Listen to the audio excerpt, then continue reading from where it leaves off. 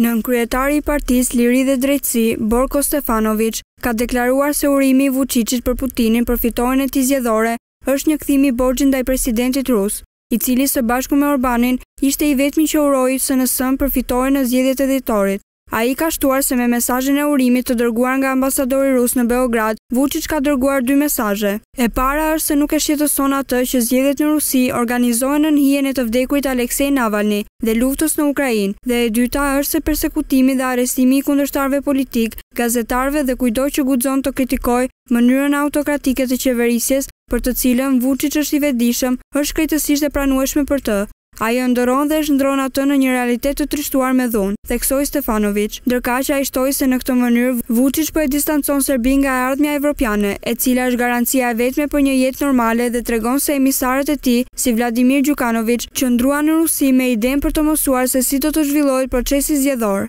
Ata që ëndërrojnë gulagët nuk mund t'i sigurojnë një jetë të mirë popullit të tyre. Lufta për zgjedhje të ndershme nuk është vetëm një e drejtë, por edhe një detyrim i çdo personi që beson se meriton të vendosë në mënyrë të pavarur për fatin dhe të ardhmen e tij, potencoi Stefanoviç.